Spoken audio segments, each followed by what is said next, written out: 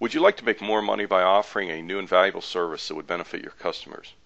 Your customers today are wearing suede boots, shoes, skirts, and jackets, as well as expensive purses and bags.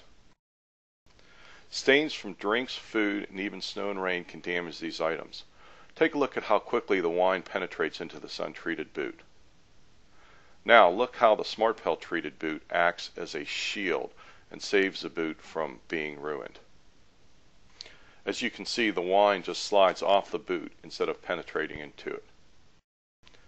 Here's another pair of boots. Look how quickly the wine just damages this suede boot. But yet, again, the SmartPel prevents the wine from penetrating. Now you can see the dramatic difference. Here's a suede skirt treated with SmartPel. Look how the wine runs right off.